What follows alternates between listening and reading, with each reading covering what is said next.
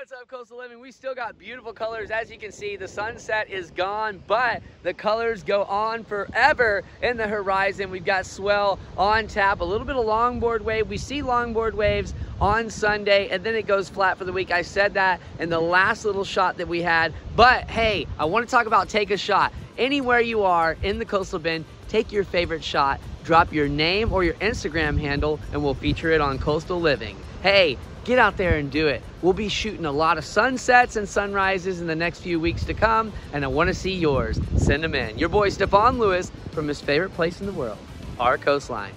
Back to y'all.